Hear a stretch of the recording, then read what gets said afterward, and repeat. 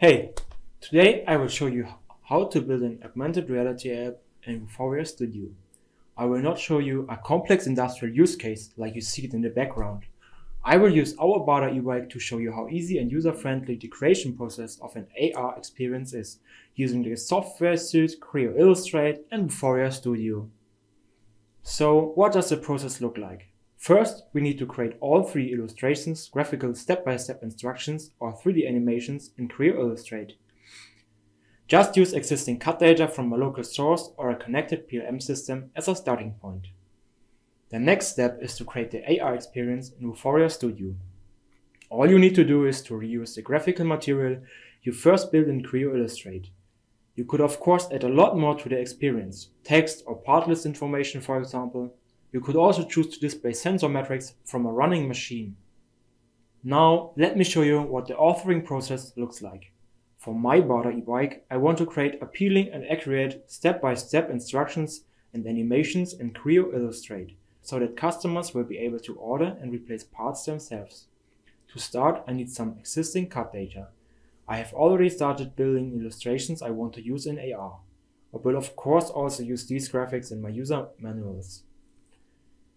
Each figure you see here contains animations or illustrations that were pre-built. Each figure will be read as a standalone object in Vuforia Studio, which is great. I can pack all my graphic material in one single file.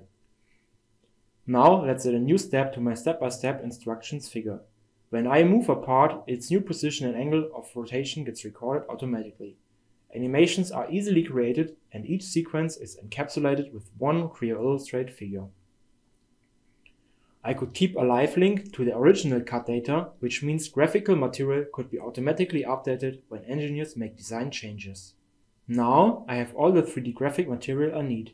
Let's start building the AR application. Open Vuforia Studio and create a new project. I need to pick a projection type. In this example, I will choose Spatial Target.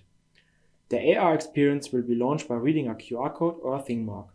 If I had the original Bada e-bike, Model target would be my first choice. The AR app would be able to recognize object shape on its own. Now I need to pick our target and drop it into the scene. Now add the CAD model. I could add a diversity of different CAD files. Here I use a simplified representation of my Bada e-bike, a PVZ file. Click add and the bike appears onto the scene. I now have the digital representation of my object for the AR experience. What I am missing is the options and tools for users to interact with that digital object. Let us create a basic UI with a drop-down menu and some buttons. Go to the 2D section and add what you need to the scene.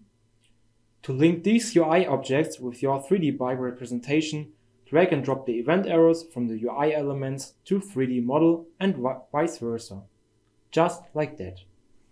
To make the UI more appealing, you could use different colors, images, and fonts. You could also use CSS or JavaScript to enhance styling and functionality.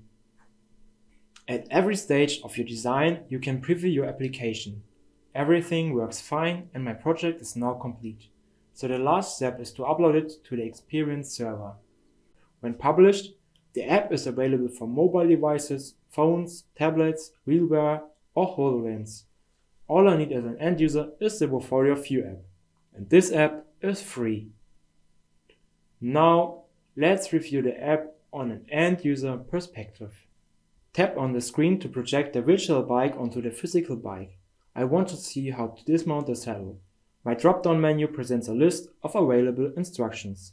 I select Saddle, Assemble, Disassembly. With a digital model projected onto the real bike, I can find the various screws easily. If some parts on my bike are missing or broken, the full parts list of the saddle helps me to find the correct part information, so that I can order it. To disassemble the saddle, I can grab my tools and finish the task as shown in the animations. Thanks and goodbye.